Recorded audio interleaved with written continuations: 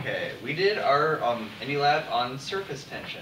The purpose of this lab was to calculate the relative surface tensions of liquids based on its contact angle with the solid surface and the attractive force between the liquid and the solid. Um, so our hypothesis was that water would have larger contact angles with all of the surfaces because water does have a larger surface tension than oil, which is the other thing we tested. And here's some background on um, the uh, contact angle and surface tension. Um, the, sur- the contact angle is the result of an equilibrium between the attractive force of the um, solid on the liquid and the surface tension, the force caused by the surface tension of the liquid in the air. Here's a diagram. And this was um, mostly pioneered by um, Thomas Young and Louis Dupre, and so this equation is called the Young-Dupre equation. And yeah, so basically, um, you have um, the tension of the uh, water pulling it this way, making it ball up more. And you have the attractive force of the solid pulling it out farther and making it spread out. And so those forces will balance depending on the specific um, liquid and solid interface at a certain angle here.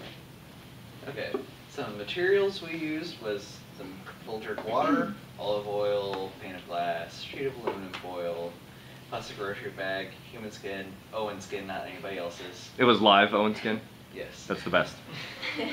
Cast iron skillet, hydrophobic spray, phone camera, and a large syringe. And this was the syringe, not like the needle that you get shots with. Here's the spray that I used. It's for um, windshields.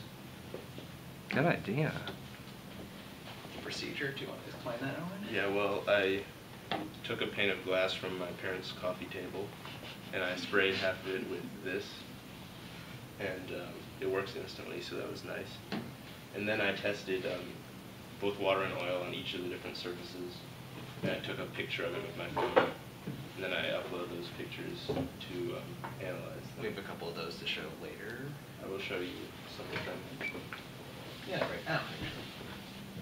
Um, we, I, I, I encountered some difficulties at this part because Logger Pro doesn't actually have a feature where you can analyze angles. So what I did was I just manually had to draw a tangent line using the measurement tool. So that number is meaningless. I was just, um, and then I just put a point on either end of the line and using that graph in the photo analysis, I could find the uh, angle that it was making with the uh, this yellow x-axis. And these are the results that we got.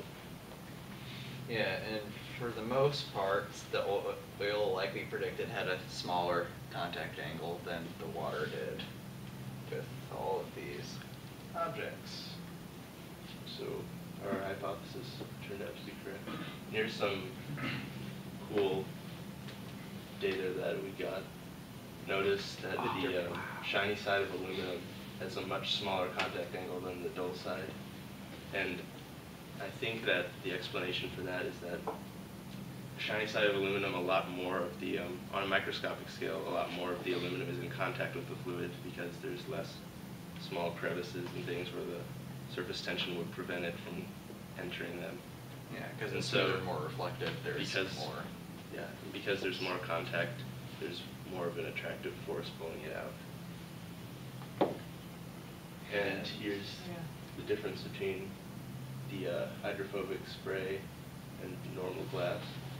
It was about a 37 degree difference. Yeah. So we got about 97 degrees spray there.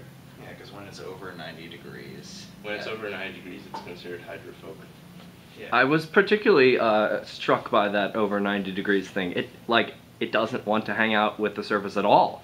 Is that what you're saying? It would rather bulge than touch that nasty surface. Yeah, it's not like one where it's completely not spreading out at all, but it's hydrophobic enough that it still tries to get away. Well, we, we calculated the um, attractive energies, so we, I can show you on a graph here, the difference between normal glass and the glass with spray.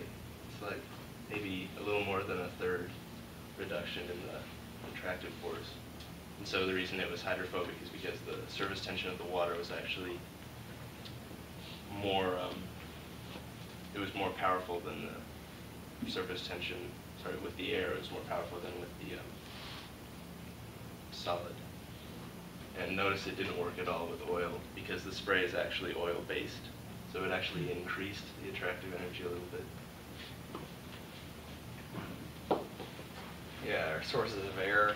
um, use surface tension of glycerol in place of olive oil. We couldn't really find olive oil per se on any website to get a good standard number. So we just found a material that was in there and used that. There was some dirt on surfaces, obviously, so that could have a big effect on that partially.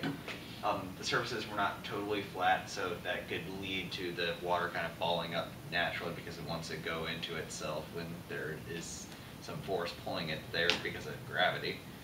And then we did not account for hysteresis, the difference between advancing and receding angles. When, is that related to like the LED turning off uh, more gradually than it would turn on sharply, like like a it's already there kind of thing? Yeah, exactly. Like if you have a whole bunch of water spread out, there will be a much less contact angle with the part of the glass that previously had water on it.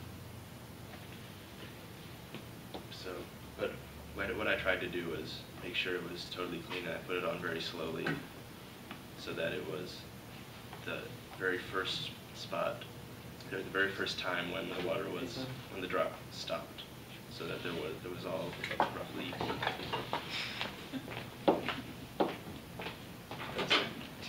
Thank you. That was it.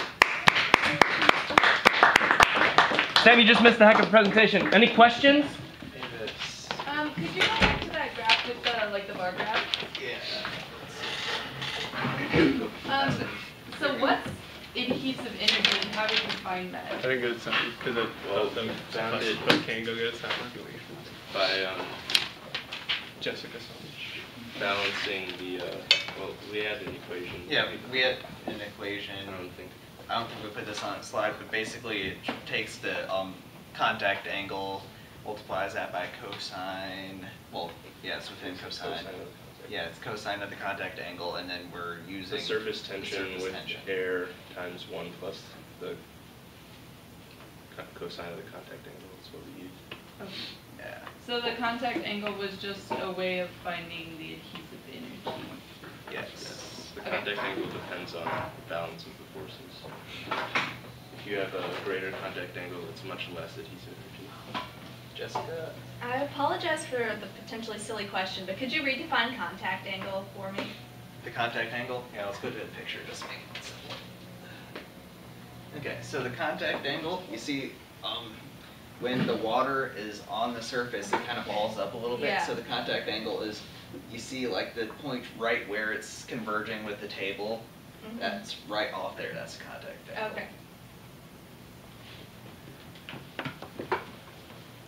Any other questions? Thank you, gentlemen. I've never seen anything like it. Thank you.